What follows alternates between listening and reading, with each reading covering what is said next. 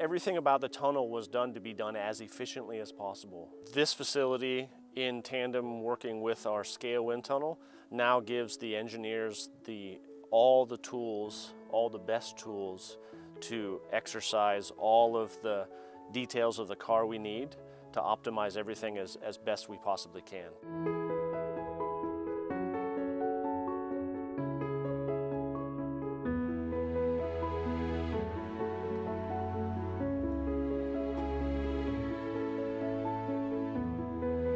So all of those sounds um, uh, we have to deal with in different ways. This facility allows us to identify those sounds. We can quickly pinpoint where they're at and why they're happening.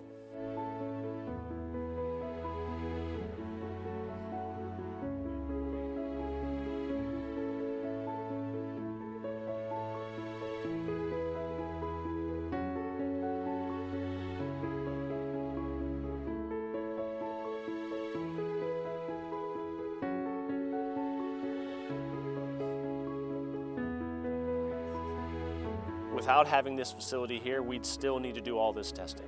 So we'd be shipping cars and prototypes and models and stuff all around the world, along with all those people to do it. So that in itself is a bunch of inefficiencies.